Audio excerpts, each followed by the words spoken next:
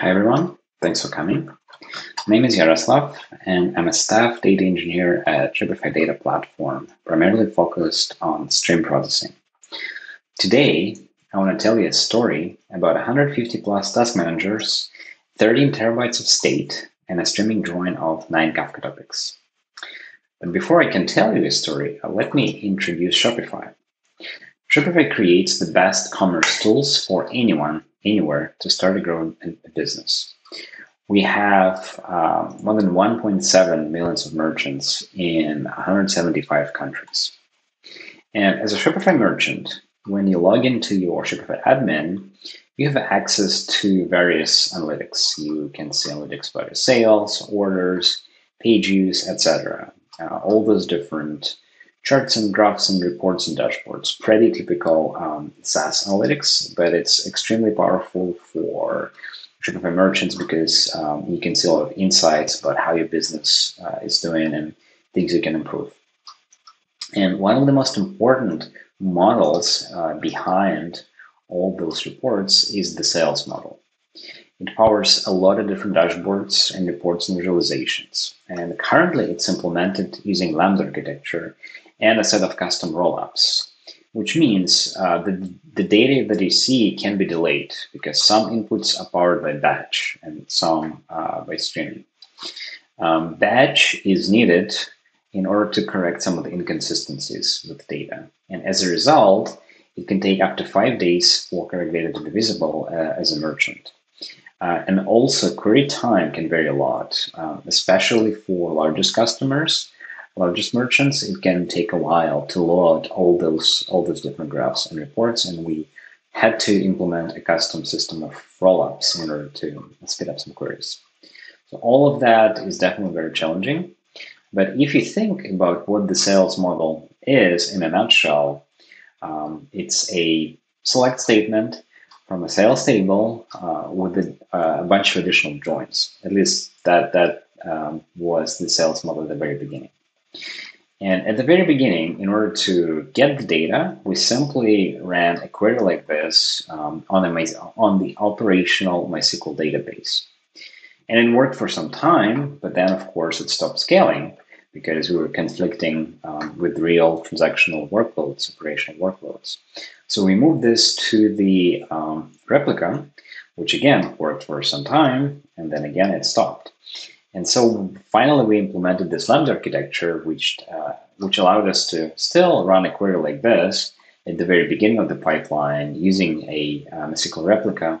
But then we would stream all those results, um, apply some transformations, and write them to Bigtable, which is used um, as a data store to serve all those uh, analytical queries. Now, we couldn't really built a, a, streaming solution before because all those data sources were um, simple MySQL tables, so, so really hard to apply any kind of streaming here. But uh, last year, Shopify launched Change, Change Data Capture, which drastically changed our lives. And uh, the Change Data Capture was implemented using Debezium and Kafka Connect. So now all those uh, operational MySQL tables are represented as compacted Kafka topics, and you can query them um, uh, using any tool. Um, you can apply any kind of transformation using different uh, streaming frameworks. So it allows us a lot of uh, flexibility in terms of how we design and build our systems. And from the very high level perspective, if you think about um, a pipeline like the sales model, uh, you can imagine like this. You have a lot of uh, operational databases first um, with the uh, with the actual data that we need to use. We stream all of that to Kafka using CDC.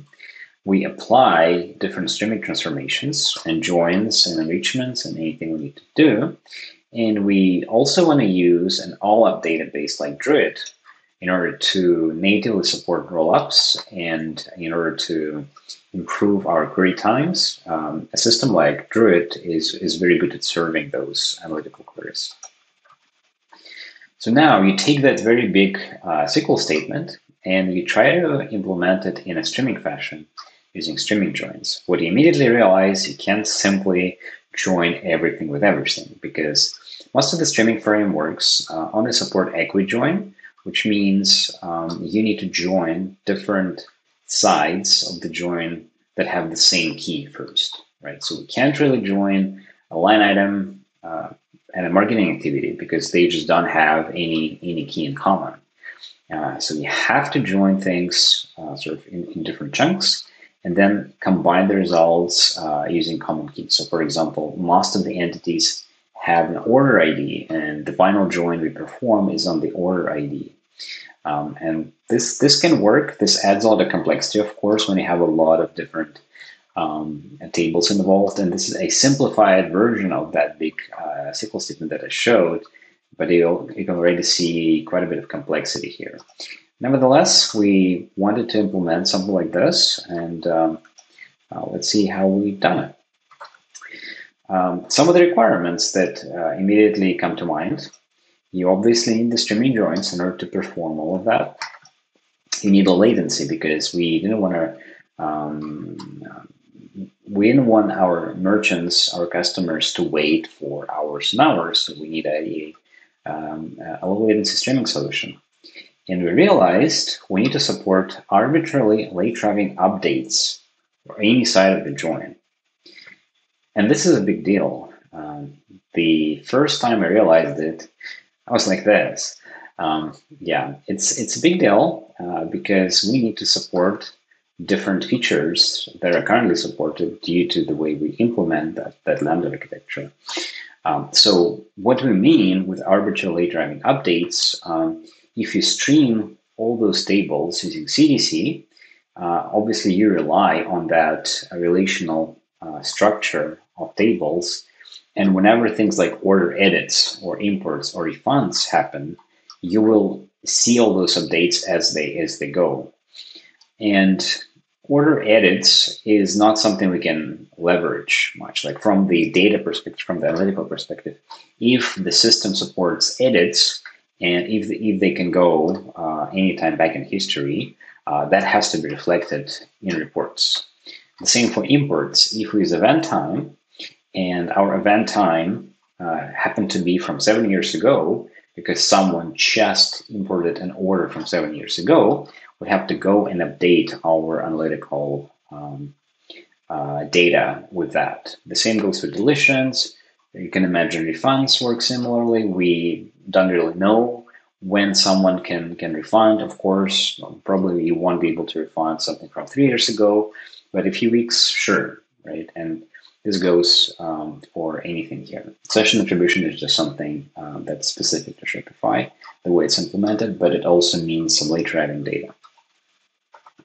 And typically, you would implement a join, a streaming join with fixed windows. Uh, like, for example, here we have tumbling windows of one hour. And uh, let's walk through this example. At the very top, we have an order with uh, ID 123 uh, that we receive at 315. And let's say that order was created. And roughly at the same time at 316, we received a sale with the order ID 123. And because we use event time and both um, messages happen to be within the same hour, we can easily join and emit the result in this case. Uh, let's say at 4.30 that order was updated and we need to reflect that update in our uh, reporting. How do we join? Like we, we need to now re-emit that uh, join result, but we don't really have a sale anymore because sale was not updated at the same time. Sale just happened at 3.16 p.m. And we can't really use a simple um, fixed join, fixed window join uh, primitive here um, because, well, not all of the sides of the join are going to be available whenever something is updated. So it just doesn't work. So what do we do? Uh, and yeah, this is just an illustration. Um, typically, when you join something at Flink, you need to provide that window, window assigner, um, that has to, well, be something. Um, and as you can also see, you typically join two sites together, right? You have uh, two key selectors. Um, it's really hard to use the same syntax for three or more sites. In our in our case, uh, sometimes we need to join five things together, and it's going to be very very um, clunky uh, if we use this kind of syntax. So what do we do? Uh, we decided to implement a custom non-temporal join, uh, and the secret sauce here is simply a union, which allows us to combine as many sides as we want. As long as all those streams have a common uh, key, we can join all those things together using, using a union. Uh, so we union, we key by that common key, and we apply a join function, which is a keyed function which contains uh, a lot of state. And the way it works, um, imagine we receive a message in stream A. Uh, that message goes through union, key by, ends up in a join function. In the join function, uh, let's say we want to implement inner join semantics. So we want to we want to see all three messages using the same key uh, before we join and emit the result, emit the output. So in this case, we have current message A. We don't have message B or C in state. And because of the nature of this union, we only process a single message at a time. So we don't have those uh, sides yet, so we persist the message A in state A. I would say the second message we get is message B in stream B, go through all the steps. In the join function, we want to emit the result. We currently have message B. We can retrieve message A from state, but we don't have message C. So we just save the message B and we continue. Finally, we get the latest message C, go through the, uh, we go to the join function. We have currently message C, and we can get access to message A and message B in state. And at that moment, we can perform the join.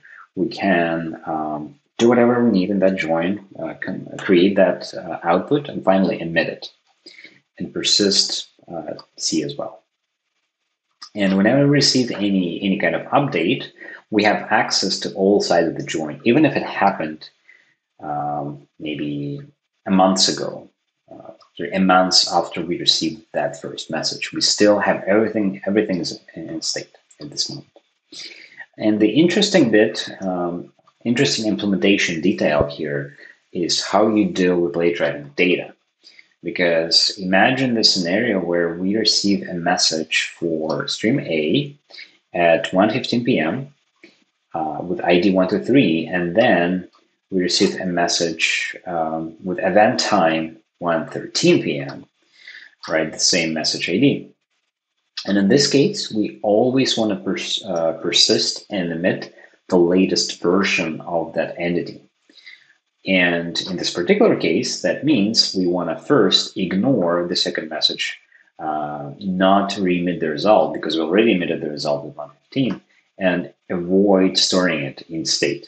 So that's just like one additional implementation detail that you need to think if you support updates um, in this in this system. How we implement it? Uh, well, from the high-level perspective, um, exactly like uh, I showed in this slide, previous slide, we we apply Flink union, key by, and a, and a process um, with the join function. And this works as long as all those sites have the same key uh, to join.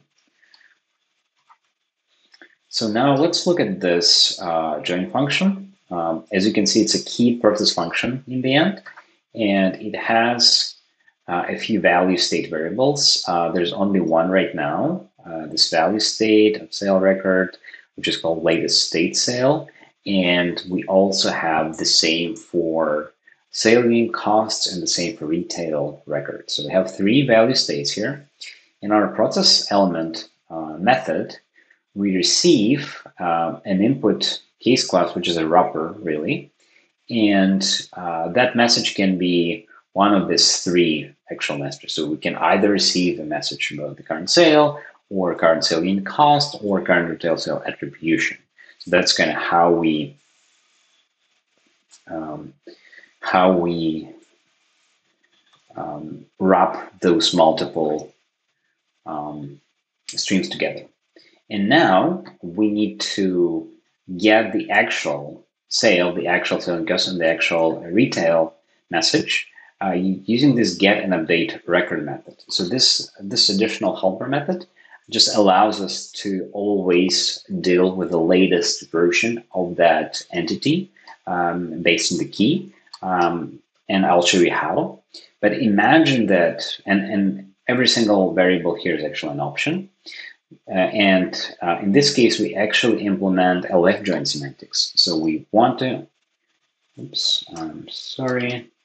Um, so we want to um, wait until the, the sale uh, comes.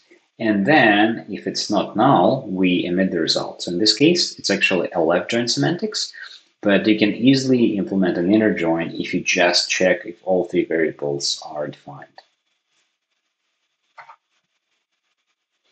And the get, get and update uh, record method, um, it's implemented um, in a way that allows us to always compare uh, timestamp. So look at this extract timestamp method first. We assume that every case class that we're dealing with is uh, updatable, so it implements this updatable trait, and it has an updated add timestamp. And this is true for most of the CDC streams that we have. All of them have this updated add timestamp. And if it's missing, we just use zero. And so this is essentially a way for us to implement uh, last write wins strategy, but with event time, uh, because we always use this in, in order to uh, extract the actual event time as well. So uh, if you look at the actual get and update record implementation, uh, as you can see, we get the value from state, we get the current record, both of them can be null. Uh, so in this case, we just return none. But otherwise, we always call max by uh, using the updated at timestamp. If what we receive is different from state, we update the state and we emit, uh, emit the result in the end. So what we implemented is a custom non-temporal join. We have a union operator to combine multiple streams, and as long as they have the same ID to key by, this, this works. We have a keyed process function to store state for all sides of the join, we use a special timestamp field to make sure the latest version is always emitted. And if we want to, we can also use timers or state_ttl config to garbage collect some of that state. But I have a question for you. What if we keep the state indefinitely? Like, is that crazy? Um, is stateful Flink pipeline that different from a data store like Kafka or even database like MySQL? Like, if you think about this, uh, they're not that different, in my opinion. So you can look at different uh, different dimensions here. Think about scalability. Uh, with, with stateful Flink application, you can scale your state vertically by increasing the size of the disk and horizontally by adding more task managers and task manager slots. Um, if you use RocksDB uh, back, backend, state backend, and your keys are relatively well distributed, you can keep scaling, uh, not indefinitely, but for a very long time. Uh, fault tolerance is also something that's handled. Uh, we have checkpoints, we have save points, we can always recover from a failure. Um, this is all very well tested, so fault tolerance is also here. Like it's not that um, different from a typical data store. And uh, Flink also has some APIs for dealing with state, specifically the the state processor API, which allows you to do quite a bit of stuff with state. You can use it to recover. You can you can update the the snapshot, the save point, and use a new one. So, in my opinion, maintaining a stateful system like Kafka or MySQL is actually not that different from ma- maintaining a stateful uh, system built on, on Flink. So maybe we can use the store, uh, use all of this state. And the experiment that we wanted to do wanted to implement that sales model topology using the union and a join function approach. And I wanted to ingest all historical Shopify data, which is tens of billions of uh, messages um, in those CDC compacted Kafka topics. I wanted to store all of them.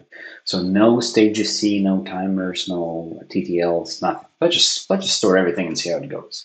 And our strategy was we, we do that, we find a bottleneck, we fix it, and we try again. And the setup that we had, uh, so this was done at the beginning of the year. Uh, we had 156 task managers, four CPU cores, four task slots, 16 gigs of RAM. Uh, the maximum parallelism for uh, the largest operator, the final order join, was 624. Uh, it was running in Kubernetes, uh, in GKE, using Flink 1.12, obviously using RocksDB state backend and GCS for checkpoint and savepoint uh, locations. And you can uh, you can see the version of this pipeline with even more uh, joins that I originally showed you. Um, but you can kind of notice all those intermediate joins uh, here. Um, and the final join at the uh, bottom left, where we um, um, combine everything together in the end. So this is this is the the DAG from the Flink uh, Flink Web UI. Now the first problem we noticed, we started this pipeline, things it seems to work, everything's chugging along, uh, everything's uh, you know going through uh, at a very good rate, and then after about an hour, things just stall, stall significantly. Uh, this is not even the worst um, screenshot. Um, a few times or sometimes it would almost go to zero, like that that uh, processing rate. And so we try to understand what's going on, and we had to enable those uh, additional uh, what's called native RocksDB metrics. And we noticed that when things go down, um, at the same time, we seem to fill uh, block cache. And so this block cache is used for reads, essentially. Uh, whenever you want to read something, um, before going to disk, RocksDB will use this, this cache. And we noticed, yeah, when the cache is full, um, things will significantly degrade. And realized, uh, well, we used vanilla GKE setup with uh, HDDs, um, and so the disks were just very slow. And the solution to that was to switch to GCP local SSDs, which is probably the the fastest uh, disk you can get in GCP in terms of disk I/O. Uh, it's unreliable, it's unpersistent. Like anytime VM goes down, this will be lost. But thanks to Flink checkpointing, um, didn't really matter. At least for this experiment, we were fine with that. And also We've done some tuning, as you can see. The Flash SSD optimized predefined option is probably the most important one, but we also tweaked, um, uh, you know, we increased number of threads for checkpointing because you're sending a lot of data around and you kind of want to use all the all the CPUs uh, that you have. So we fixed the first issue. Um, things things recovered nicely. Uh, while doing all this investigation, we've done some profiling and we noticed uh, Kryo is used all over the place. Like more than 52% of CPU, specifically at this um, at this profiling session, we noticed it was spent on different Kryo serialization, deserialization, and that's a lot. And we learned that even though we wanted to use case class um, um, Flink would fall back to CRI-O because of some specific types that we used in those case classes. And I know case class is probably not the the fastest uh, protocol to use. You, are better using uh, rows or tuples, but case classes um, it was pretty good in terms of performance and also very developer friendly. And so, what helped us is the disable generic types uh, instruction to Flink. Um, I know it says that it's not production recommended because you can always have new types, and it's really hard to understand that but it's at least something that you should uh, periodically en- uh, enable or well disable in this case when you launch new major features because you want to make sure there's no Kryo fallback because this can affect your performance quite a bit. And in our case, um, we found those types that are not supported, we fixed them, um, and we keep keep uh, this one um, disabled. And so after doing all of that, there is literally literally no Kryo in the stack trace, and we bumped our performance by about 20%. We increased throughput by 20% just by ditching that um, Kryo fallback. So results.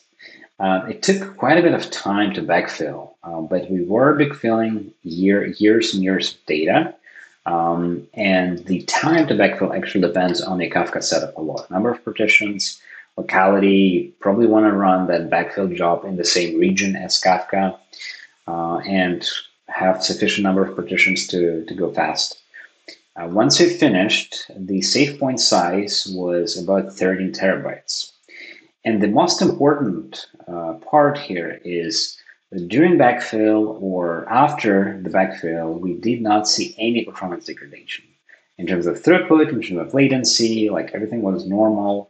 We just keep writing and reading data to our local SSDs and uh, sending checkpoints uh, to GCS, but we didn't see any performance degradation. We fixed some bugs because we were um, in a position to leverage our internal um, data integrity tool, and we compared compared the output with the existing system and fixed some bugs. And in the end, we achieved 100% correctness. So all the results matched between the old and the new system, which is important. And if you can do a test like this, uh, highly recommend it. Um, we tried to experiment with savepoint recovery. Uh, this was interesting. Uh, we typically, uh, it, it, would typically take uh, like 30 minutes um, to take a savepoint. And we tried different ways to recover, changing parallelism, different things. But in all those scenarios, uh, we usually take, uh, we usually would take like 30 minutes or less in order to recover the savepoint. And I can I can imagine a few questions that you have, like um, maybe you can just use global window instead, uh, right? Because that implementation of a join function looks a bit complicated. There's lots of state around, and global window has similar semantics. Uh, it's true, but it gives you less control over state. So uh, with the approach that we show, uh, you can use timers or TTL if you want to, uh, but with global window, there's just that global window that you can't really uh, change much. And we also tried to use global window before uh, using a previous version of the sales model, using a different prototype with Apache Beam. And yeah, just had some, some bad experience, so we decided to not uh, do it again. You can also ask, why don't you keep the state somewhere else and maybe just perform some lookups when you join? And uh, I think this can work um, depending on the state size. And this is something we've done before with Spark structured streaming and Bigtable. We didn't like it much. Um, it can be much slower for sure. And it can also get very complicated because you probably want to keep that uh, state um, also in, in a in memory cache. And now we need to coordinate all those updates between memory cache uh, your external store. And yeah, it, it, it, can be very, very tricky to do this properly. And we wanted to just use uh, built-in um, state because it's simple, easy to use, and it should just work in theory. And we proved it, it can work. So you can ask, you can also ask me, will we actually keep all the state around?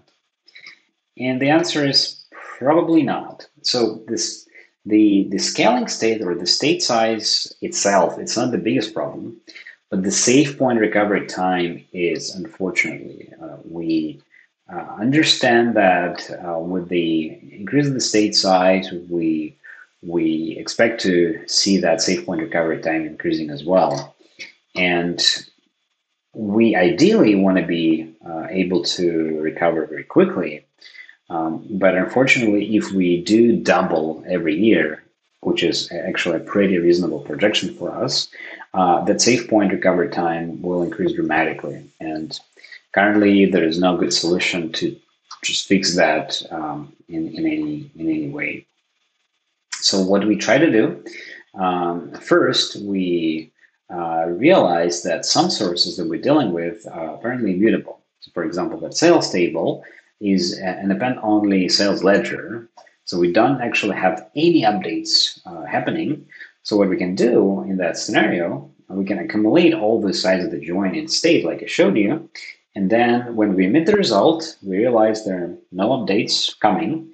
So we can just clear that state. Uh, and this is a very powerful tool um, that you can use. And we also started realizing that maybe we'll um, introduce some trade offs from the product perspective. So maybe we only support uh, propagating deletes uh, from the last months, right? And this allows us to reduce the amount of state we need to store. And you can find those product trade offs if you if you explain uh, how the uh, side of the state affects different different scalability as well as recovery um, uh, concerns. But our dream here is uh, use state with TTL, so maybe garbage collected after a few days, and whenever we receive late arriving records, uh, without the state, without all those sides uh, that we need for a join, we can somehow backfill the state quickly only for the current key and remit the join. This sounds tricky. Um, uh, I haven't actually done it, I haven't implemented, it, but this is something that everyone want to do. And I think it should be possible if we do have um, all the data, all the source data still in Kafka. And because we use compacted Kafka topics, it should be possible, but if you don't use um, those kinds of topics, maybe something like tiered storage can help. But you kind of need to have all the source data available in order to implement it. Um, that's actually it. I'm happy to answer any questions.